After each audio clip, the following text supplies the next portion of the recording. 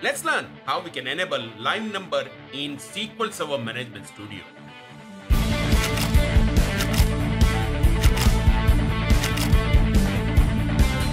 Hi there, this is Pinal Dave and I welcome all of you to this another episode of SQL in the 60 second. When I go to SQL Server Performance Tuning engagement, we usually work online. I prefer that my clients share their screen with me via online meeting software.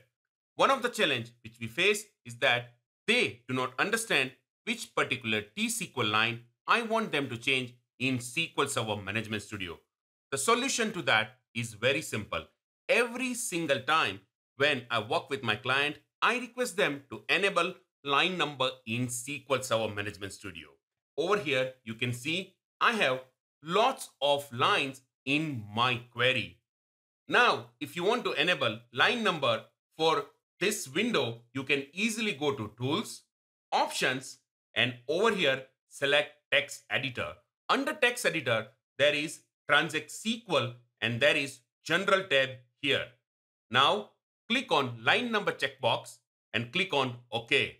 There you go. Now, on the left side, you can see line number in your query editor. There is one more tip for you, but that after the outro. Now, if you like what you see, please do not forget to subscribe, like, comment, and share this video.